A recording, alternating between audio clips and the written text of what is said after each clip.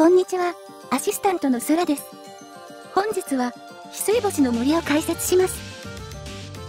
アップデートで終わらない冬の山が実装され、新たに冬をイメージした狩り場が追加されました。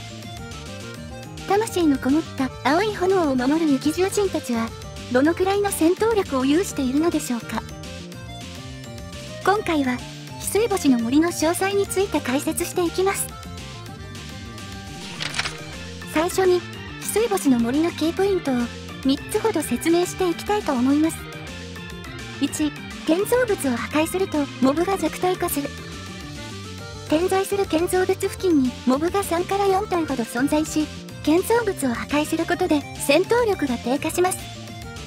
一体一体の耐久力が高く、討伐に時間がかかるので、建造物の破壊は狩り効率に大きく影響します。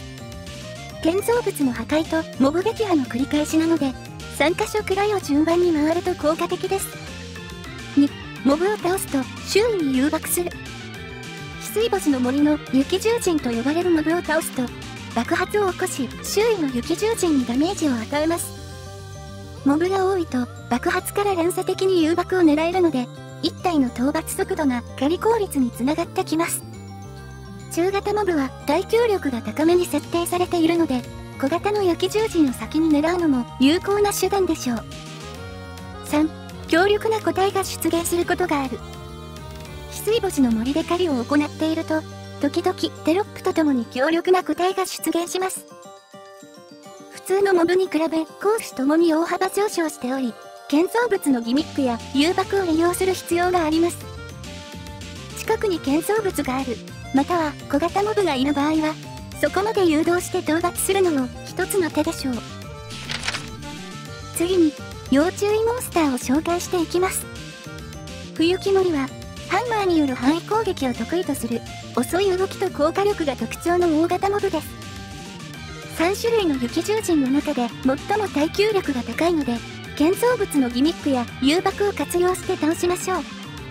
ネームドになると、範囲攻撃の威力が増加し、耐久力も上昇するので、討伐難易度が大幅に上がります。東大森は、棍棒による素早い攻撃を得意とし、そこそこの攻撃範囲も合わせ持つ中型モブです。常に2体で出現するので攻撃の手数が多く、冬木森とは違った立ち回りで討伐する必要があります。ネームドになると、範囲攻撃の威力が増加し、それが2方向から飛んでくるので危険度が増します。最後に、ゴリの様子を解説していきます。翡翠星の森は、建造物付近に生息する強力なモブを、ギミックで弱体化させてから討伐する狩り場になります。モブの群れに接近したら、最初に建造物を破壊し、耐久力の低い小型モブから倒していきましょう。また、モブの誘爆を積極的に狙っていきたいので、HP が減っているモブがいたら攻撃を集中させます。強力な個体が出現したら建造物に誘導もありですが、建造物のリポップを待つという方法もあります。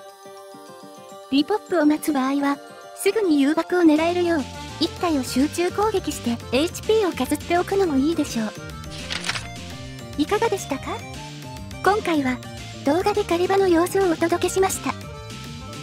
ブログでも狩り場情報を紹介していますので、チェックしてみてくださいね。ご視聴ありがとうございました。また、次の動画でお会いしましょう。